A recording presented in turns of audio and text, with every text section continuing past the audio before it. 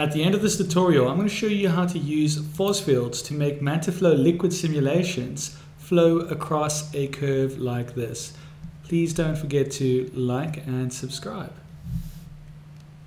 Right, step number one, select the default cube. Let's rename it to a domain and create a new collection called domain.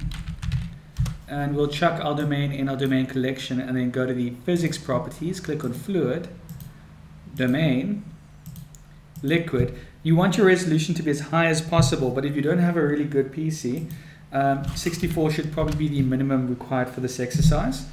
And normally I turn on mesh and I make it resumable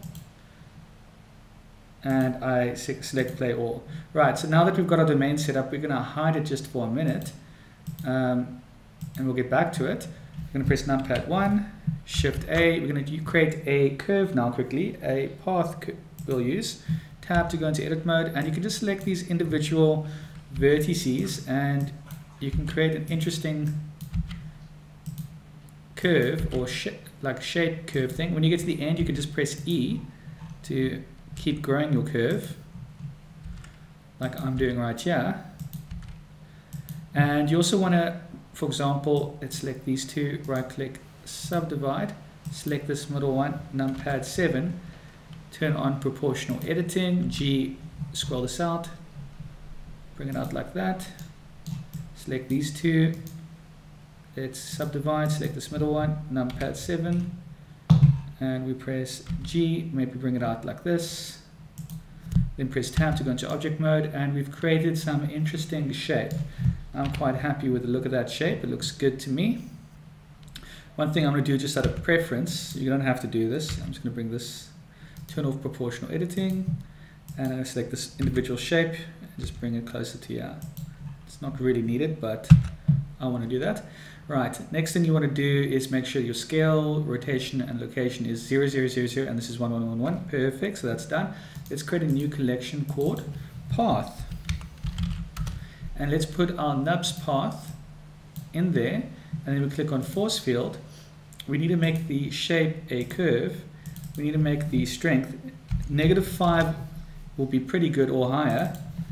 Um, has to be a negative number. So when I say negative 5 or higher, I mean negative 6 is higher than negative 5 in, in this example. Flow strength you want to set to 1 and then this is set. The only thing you want to change once you've done that, let's just double check. Yeah, uh, that's about it. Nothing else really needs to be changed. Cool.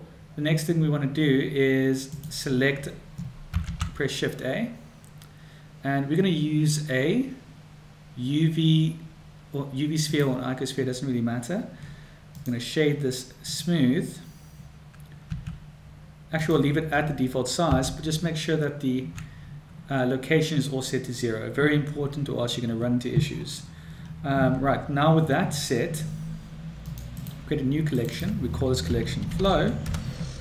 Put the sphere in here, rename the sphere flow, and go to the physics properties fluid, flow, liquid. You can leave it on geometry, which means it will only use the liquid within the sphere, or you could make it like a tap, which just pours out water, and you could use keyframes to turn off the tap at a certain point, but in this example, I'm just going to use geometry because that's more than fine for what I'm trying to do. You can up the sampling for a better result, but I don't care for that in this tutorial. I'm going to, next thing you want to do is you want to make your domain visible, and you want to scale this domain, ooh, hold on, you want to select your domain and scale it up. And turn on wireframe mode with X-ray turned on and SX, numpad 3, SY. We're just making sure that everything definitely fits in here. And that looks perfectly fine to me. Right, next thing to pay attention to is your voxels this size and our flow has to be larger than your voxel whilst you're going to run into issues and it won't work. So this looks perfectly fine to me. The next step is, next thing you want to do is select your domain and just make sure you go down all the way to field weights and make your gravity zero. That is a crucial part. Other than that, we should be ready to bake. I'm just looking at all the settings quick. 64, mesh, all resumable. Okay, cool, let's bake it in. All right, now that the render is complete, we can press, let's go to the material viewport, right click shade smooth, let's hide our flow. And by the way, you would, when you if you ever decided to render this, you would make sure that your flows are always not viewable in the render, which is crucial. Probably want to add a material to this, and the water material is also known as the glass BSDF, and perhaps you'd like to make it 0.2, and then just change the color here to a slightly more blue. That looks pretty cool. All right, so now when we press play, spacebar, you can see the water follows the path perfectly as if the water were possessed or as if you were an airbender. This is an example one. I'll make another video now today quickly showing you another way to do this that also looks pretty cool. Please don't forget to like and subscribe.